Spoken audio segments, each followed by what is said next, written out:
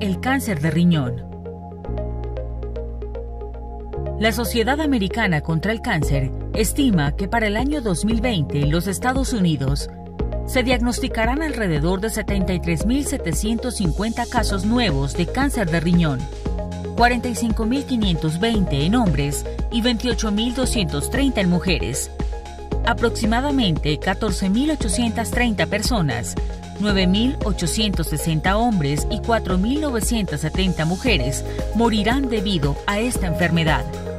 Tomar medidas para mejorar su salud puede ayudar a reducir el riesgo de tener cáncer de riñón. Recomendaciones. No fume. Si fuma, deje de hacerlo. Existen muchas opciones para abandonar este hábito, incluidos programas de apoyo, medicamentos y productos de reemplazo de la nicotina. Mantenga un peso saludable. Trabaje en pos de mantener un peso saludable. Si tiene sobrepeso o es obeso, disminuya la cantidad de calorías que consume por día e intente estar físicamente activo la mayoría de los días de la semana. Consulte con su especialista algunas estrategias saludables que le ayuden a bajar de peso. Controle la presión arterial alta. Si tiene la presión arterial alta, puede hablar acerca de las opciones para reducir los valores. Las medidas relacionadas con el estilo de vida, como hacer ejercicio, bajar de peso y realizar cambios en la dieta, pueden ayudar.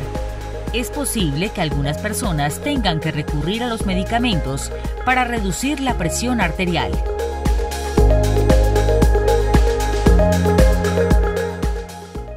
Gracias por acompañarnos. En esta ocasión me acompaña Ángela Díaz, directora ejecutiva del Consejo Renal de Puerto Rico. ¿Cómo te encuentras, Ángela? Hola, muy bien. Gracias por esta invitación. Como siempre, muy contenta de poder eh, compartir con todos. Y también nos acompaña el doctor Enrique Ortiz Kitt, quien dirige eh, la división de nefrología del Hospital de Veteranos, también es eh, profesor a tiempo casi completo y eh, nos va a acompañar también esta noche. ¿Cómo se encuentra, doctor? Muy bien, gracias a Dios y gracias por la invitación. Ángela y a usted. Bueno, y vamos a hablar sobre nefrología, cáncer del riñón. Eh, hay muchísimos temas de salud que nos siguen eh, interesando, ¿verdad? Más allá de la pandemia del COVID. Y queríamos un poco comenzar con usted, doctor, para que nos defina, ¿verdad?, lo que es el cáncer de riñón. ¿En qué etapa de ese daño a ese órgano es que hay cáncer de riñón?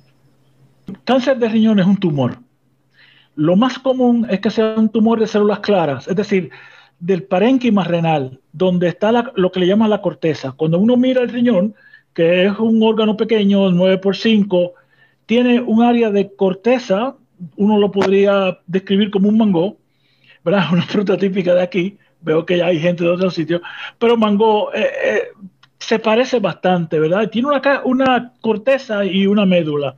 En la corteza aparecen ese tipo de, células que se proliferan y se malignizan. Y la forma de presentación más común sería una masa renal. Es decir, incidentalmente alguien se hace una prueba radiológica y le dice, mira, tú tienes una masa renal localizada en el riñón izquierdo, etc. De hecho, eso es muy importante porque eso ha reducido el, o ha aumentado la vigilancia de ese tipo de tumor, ¿ves? Es un tumor. ¿Pero por qué, doctor? Porque, porque nunca se manifiesta, o sea, nunca hay síntomas asociados a ese sí, hay síntomas, pero usualmente son tardes, son tarde. Pero hay síntomas que la gente debe alertarse. De hecho, son unos síntomas bastante complejos. Le dicen el tumor de los internistas, porque eh, aparte de sangre en la orina, que es, puede ser microscópica, aparte de dolor del flanco, como si fuera piedra, y, una masa palpable, que obviamente es más difícil porque ahora habemos más gorditos y no es fácil palpar una masa renal, pero que esa tríada casi nunca se da de sangre en la orina, que se llama hematuria, dolor del flanco y además de eso una masa palpable.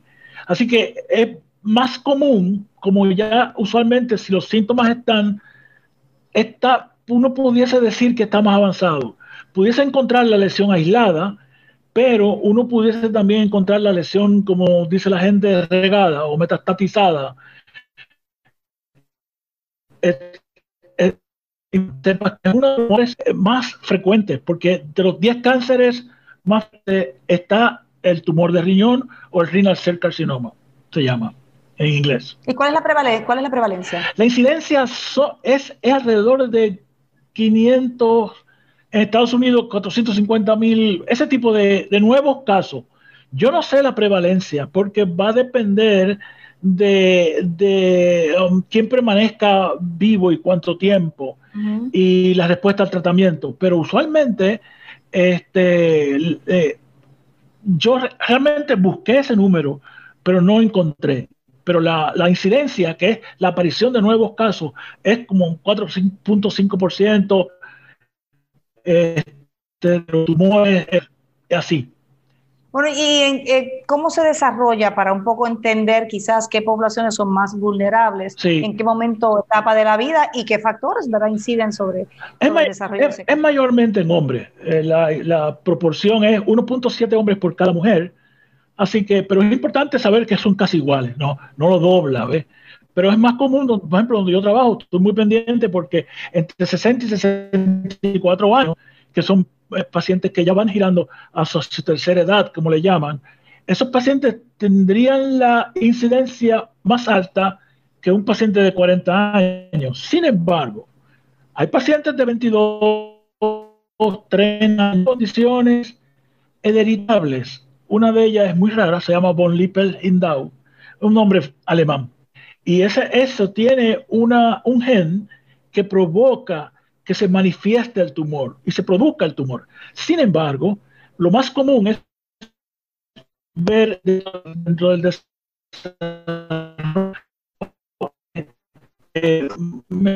60 años que incidentalmente salga con una masa renal sólida, Sólida significa que no contiene líquidos dentro. Por ejemplo, ya uno es capaz con el sonograma de decir, esa masa renal que aparece, parece una pelotita de ping-pong, no está llena de líquido, simplemente está llena de sólido, porque el material se ve diferente, ecogénico.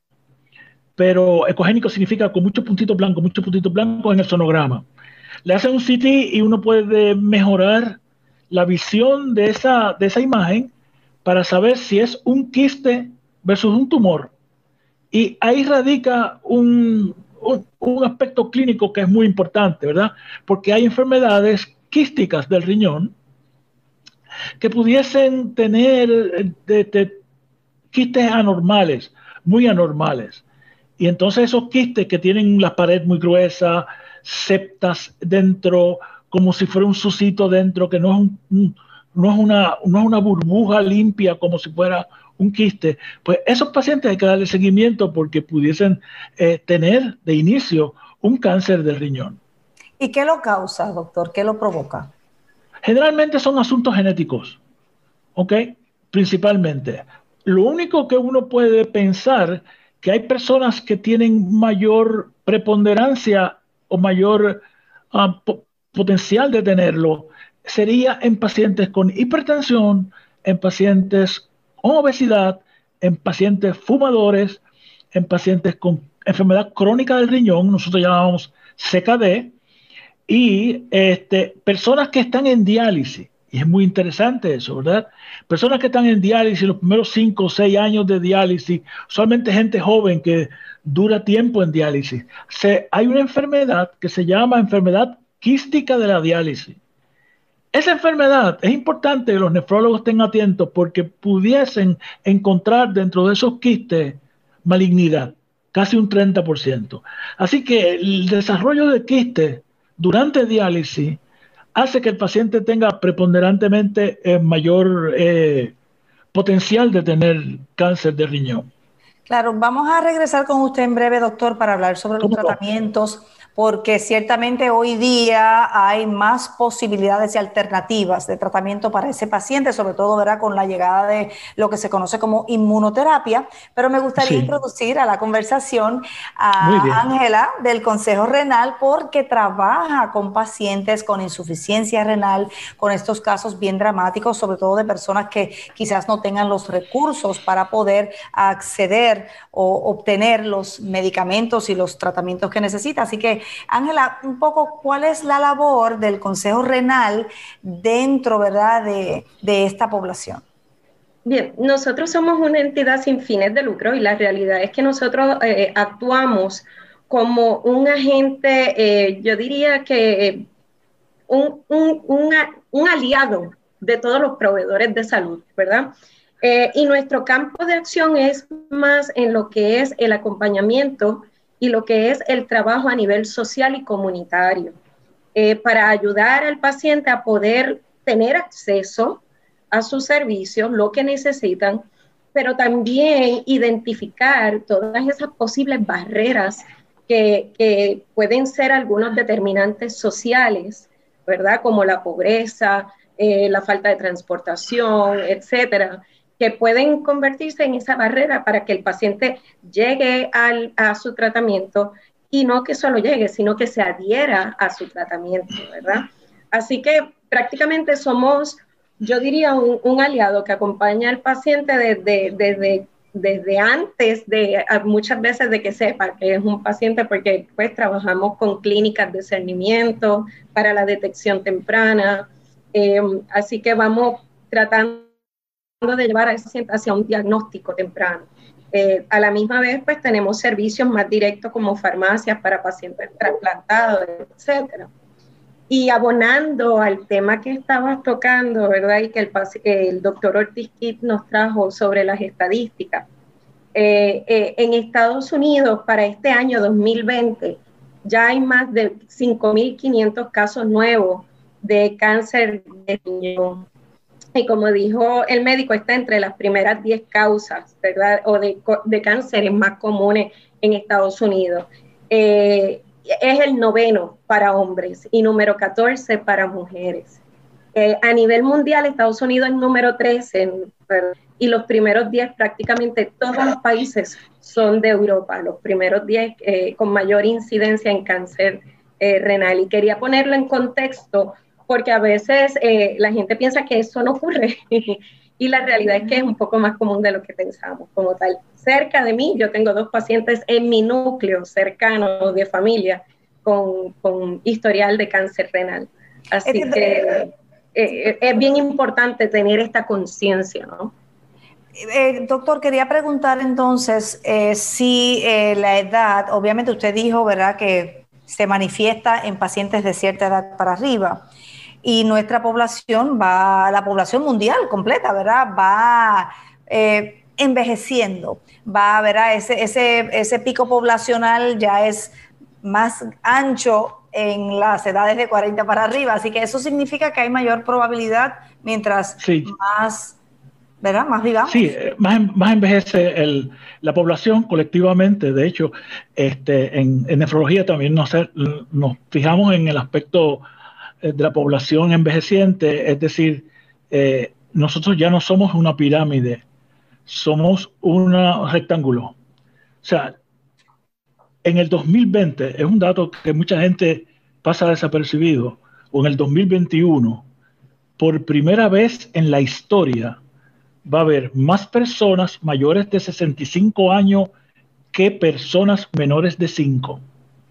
Y eso significa que hay mayor sobrevivencia y menos nacimiento. Así que los médicos tienen que girar un poco su visión e irse hacia la derecha, como decimos nosotros, hacia la parte más geriátrica de la medicina, porque las eso lo vemos nosotros, mm. en, y Ángela lo ve en las unidades de diálisis, son una enfermedad de viejos, de enfermedad crónica renal, aparecen jóvenes y la gente se sorprende, que es joven ese niño.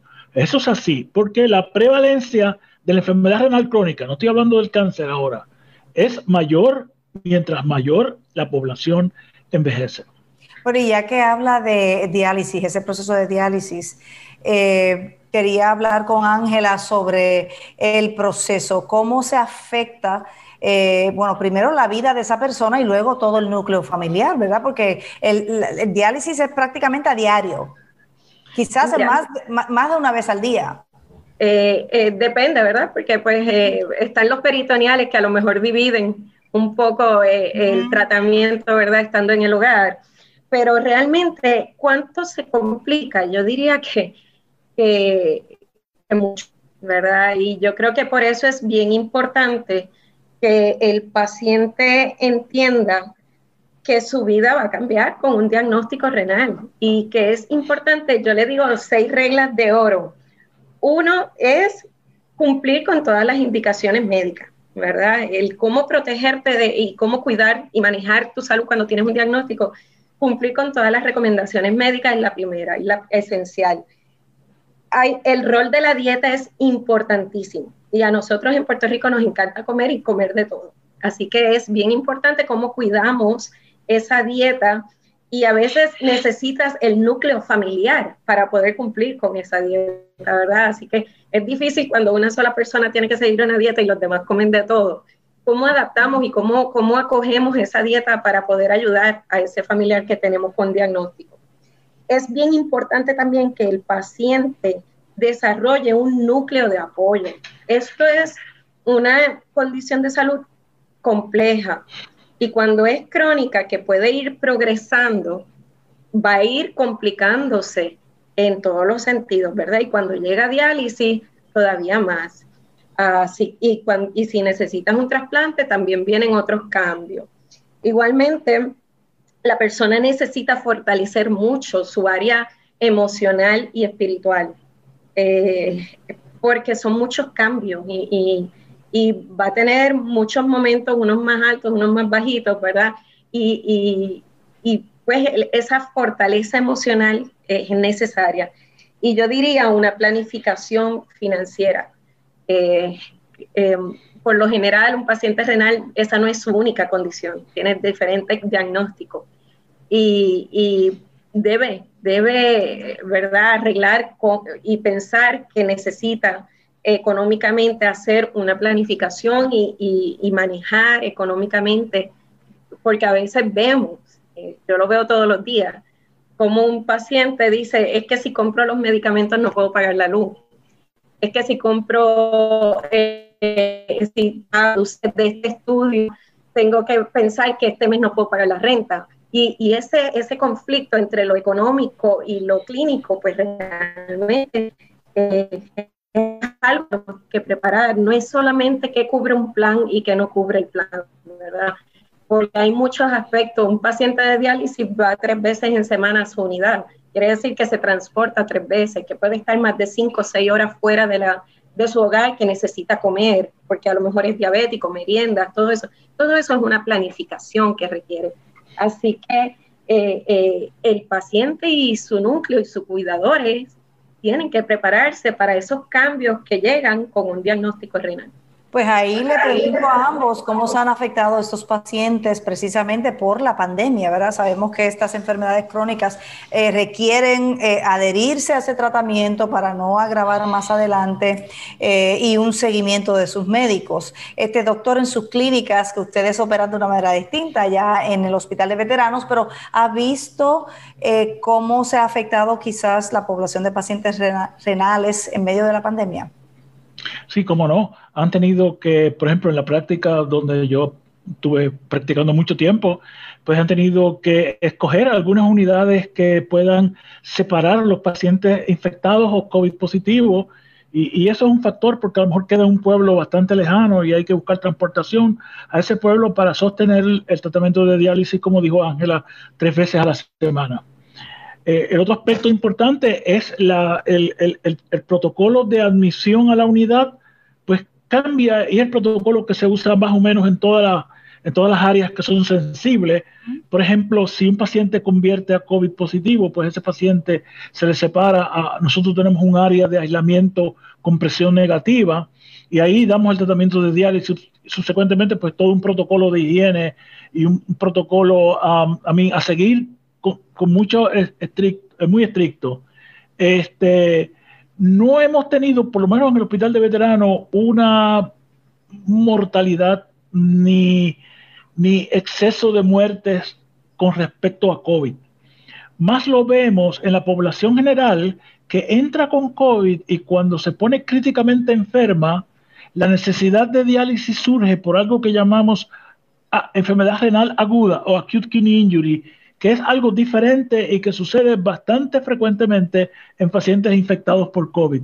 Y eso implica... doctor, sin que hayan tenido historial de enfermedad renal. Sí, sí. Es en el medio, si no, es, la... Es, eh, hay mucha literatura al respecto porque quizás una cuarta parte fallece porque es, el fallo renal le da un factor adicional. El fallo renal agudo, la gente no tiene que tener particularmente ningún historial este, pasado. ¿okay? Puede ser un paciente normal, pero desarrolla sepsis o una infección en la sangre o una infección viral de tal severidad que le provoca un colapso de dos pulmones, ¿okay? y eso hace que desarrolle hipotensión y posiblemente aparezca lo que se llama una tormenta de citoquina, whatever, ¿verdad? Una tormenta de sustancias inflamatorias que producen daño del sistema renal, daño del túbulo, daño del glomérulo, etcétera, y se manifiesta como fallo de riñón agudo que frecuentemente, no, no todos, pero frecuentemente tienen la necesidad de diálisis para sobrevivir ese evento. Ángela, ¿cómo, ¿cómo has visto el impacto del COVID sobre esa población y la que ustedes atienden? Bueno, obviamente nosotros no, no, no damos diálisis, nos damos ese servicio, eh, ¿verdad? Nosotros vemos más el lado social, el lado emocional. Lo que yo he visto es un aumento en ansiedad y en depresión. En, en, incluso tenemos más pacientes ahora solicitando ese, ese servicio en nuestra entidad. Eh, a, medida que va pasando más el tiempo, mayor cantidad de pacientes nos va llegando solicitando e, eso, ¿no?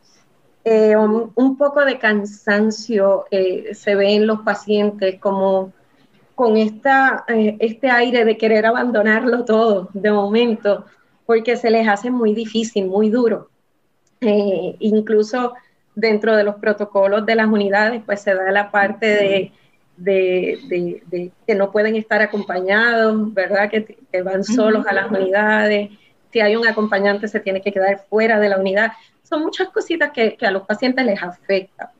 En términos de, de, lo que nosotros hemos visto, a mí me preocupa también los que están en estadios tempranos y esa parte del diagnóstico temprano, que tal vez el paciente no sabe que pudiera tener algo renal y, pues a, nivel primario, pues no están acudiendo a sus citas. Eh, mucha gente tiene el temor de contagiarse y no está yendo a citas.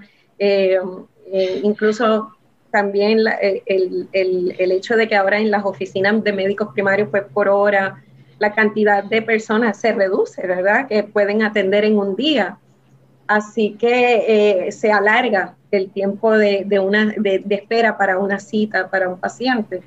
Y, y, la parte que más me preocupa es la de cómo se afecta el diagnóstico temprano de enfermedades renales este año.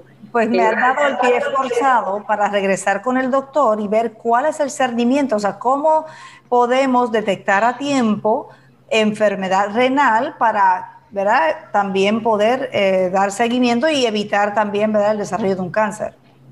Debo hacer un comentario y eh, para darle support a Ángela en, el aspecto de la población que ella atiende. Para mí, la preocupación más grande son los pacientes de trasplante. Son pacientes que están tomando inmunosupresores corrientemente. Así que su estado inmune está débil y es común que se infecten, o no es, no es que tengan común, pero tiene que tener más cuidado el paciente que está trasplantado ante esta amenaza epidémica, porque si se infecta, es un poco más grave la situación. Hay reportes de muertes alrededor de los 20-24%, sobre todo en, Nueva York, hospitales grandes, grandes, que atienden gran volumen de pacientes trasplantados. Esos pacientes se les mm, regula un poco la inmunosupresión, se les baja la dosis quizás entonces aumente la posibilidad de tener algún rechazo. Eh, ahí hay una situación que obviamente uno no, es cómoda de atender. Así que nosotros hemos tenido hospitalizaciones de personas que están en su casa y quizás algún familiar los visite y una de las cosas que más atención hay que ponerle para que ese paciente de trasplante no tenga eh, en extrema exposición. Wow, por eso es que tenemos que seguir con las medidas de protegernos a nosotros y a los demás, porque uno es particularmente sí, esa persona que está al lado de uno qué condición tenga. Y si uno sinceramente le puede matar si de alguna manera uno lo contagia con el con el virus, o sea, yo creo que eso es bien importante, eso que usted acaba de decir. Eh, y discúlpame, Mayra, es por eso que es tan importante la parte educativa paciente sepa cómo proteger ese escenario dentro de su mismo hogar. Eh, eh, a veces no pensamos en lo que puede significar el que trae la comida, un delivery, ¿verdad? El contacto que puedas tener, cómo tú puedes eh, trabajar esa situación en tu casa, ¿verdad? a veces te traen los alimentos, la compra y todo al hogar. Esa persona que vino, qué protocolo siguió para entrar en tu casa, ¿verdad? Esas cosas tal vez las hemos eliminado de, un posible contagio con nosotros. No, no, en nuestro imaginario, no hemos construido ese imaginario de operación de nuestra vida diaria. Todavía estamos con que ponte la mascarilla, mantén distancia, pero eso realmente no me dice a mí, no le dice al paciente cómo hacer, qué hago para seguir con mi vida. Y yo creo, tú, estás, tú has dado en el clavo, ¿verdad? Que esa persona, sobre todo del delivery, no debería entrar a la casa, es lo primero. Quizás dejar las cosas en un lugar, entonces uno desinfectar ahí por encimita, pero eh, pues sí, tenemos que seguir educando, educándonos, ¿verdad? Sobre educando, educando, educando. Todas estas condiciones. Doctor, ¿algún comentario sobre eso? no, en particular, en particular eh, los pacientes que son más frágiles, ¿ves? O sea, el paciente mayor con chronic kidney disease, aunque no esté en diálisis, es un paciente cuya fragilidad, sus posibilidades de caída, sus posibilidades de, nutrición, su aspecto cognitivo, que es muy importante. Quizás no entienda bien y hay que um, eh, educarlo con, con conversaciones suave, no estrictamente científica, conversaciones cómodas, que él pueda entender la seria dificultad que estamos pasando. Otro aspecto importante que preguntaste ahorita, no quisiera abundar demasiado, el aspecto de discernimiento, digamos, temprano. En particularmente algunos pacientes que están más a riesgo, ¿verdad? Algunos pacientes que tienen diabetes, particularmente, diabetes tipo 2 y la diabetes tipo 1 también. en Puerto Rico son muchísimos. Es la mayoría. somos, somos un montón. Entonces, los hipertensos, aquellos pacientes que han tenido eh, eh, sangre en la orina, pero es importante el examen de orina, y yo hago mucho énfasis esto con mis estudiantes, porque la orina es la ventana al riñón. Y en la orina nosotros detectamos proteína, que debe estar negativa, sin embargo, la detectamos con una tirilla cómoda, barata, que puede decir, este paciente tiene una cruz de albúmina o de proteína en la orina o tiene sangre en la orina y no sabemos por qué. Entonces vamos a la sangre y vemos que tiene una sustancia que nosotros le, le medimos en la sangre y que nos puede decir si hay trastornos con la filtración del riñón. Esa sustancia se llama creatinina. Y esa sustancia, si sube, es que la filtración glomerular o la filtración de los, en, el riñón disminuye. Y eso hace que verdaderamente uno tenga pues eso puede pasar desapercibido. Pero doctor, esos, ese saneamiento se hace con el médico primario de manera rutinaria. Porque ah, naturalmente. Uno debería, hacerse por lo menos un examen anual que incluya. Y deben fijarse en eso. Deben fijarse en eso, que incluya el examen de la orina porque créalo usted o no, alguna gente la olvida. Pues qué bien, pues terminamos con ese consejo. ¿Algún consejo de parte de Ángela Díaz del Consejo Renal para algunos de estos pacientes, los muchos que hay eh, quizás viéndonos que tengan familiares o amigos o aquella persona que sospeche que tiene alguna condición renal? Pues yo prácticamente eh, em, me alegra tener este, este, estos espacios de poder conversar y llevarlo de una forma simple, sencilla, para que la gente entienda cuán vulnerable eh, somos todos a tener una enfermedad renal. si no la tenemos nosotros, a alguien cercano a nosotros pueda tener una enfermedad renal y poder hablar de lo vulnerable que somos en tiempos como este también, particularmente. Eh, COVID nos ha enseñado a vivir diferente y aprender las cosas más esenciales, desde aprender a lavarnos las manos y a protegernos con una mascarilla, ¿verdad? Eh, pero yo y quiero, quiero traer la atención que la parte de la salud no la podemos descuidar y que por eso hay, hay estos avances tecnológicos que nos permiten comunicarnos con nuestros profesionales de la salud. La telemedicina, la telesalud está ahí. Así que es una herramienta que nos acerca a nuestros profesionales y si tenemos preguntas o alguna duda, que podamos comunicarnos con alguien que nos pueda orientar efectivamente y hacer las consultas que necesitemos. Así que mi invitación es a no descuidar eh, nuestra salud en este momento eh, que estamos tan próximos, ¿verdad? Y que se habla de una vacuna ya eh, cerca. Así que, que, no, bajemos la guardia y que no, no querramos correr. Va a llegar la vacuna y, vamos a poder vivir como, como antes lo hacíamos y abrazarnos y, y tocarnos y estar reunidos como antes, pero en este momento no podemos bajar la guardia. Doctor, unas palabras también quizás de esperanza y aliento para los pacientes renales, porque también sabemos que hay muchísimas alternativas de terapia. Sí, naturalmente. Este, eh, es, muy importante este, entender la enfermedad. Eh, eh, entender la enfermedad porque es una enfermedad muy larga. pudiese ser muy corta para gente que está muy enfermo, pero para mucha gente que se cuida bien y aprende a cuidarse y pronto vendrán terapias muy diferentes, en particularmente hemodiálisis para el hogar. Es una alternativa es sumamente prometedora, con eh, eh, técnicas de diálisis impresionantemente seguras que se las puede dar el mismo paciente y eso es un futuro, eh, yo diría que halagador en lo que vienen otros estudios más, digamos, un poquito más de ciencia ficción más adelante, como organoides y cosas de esas. Pero en particular, la diálisis, que ha sido acusada de no tener mucha innovación en los últimos 10 años, está ahora innovando a pasos agigantados este, en cuanto a mantener al paciente, digamos, en diálisis cuatro veces a la semana, en su propia casa, a su propio horario, este, que no, probablemente menos contaminación y menos infecciones.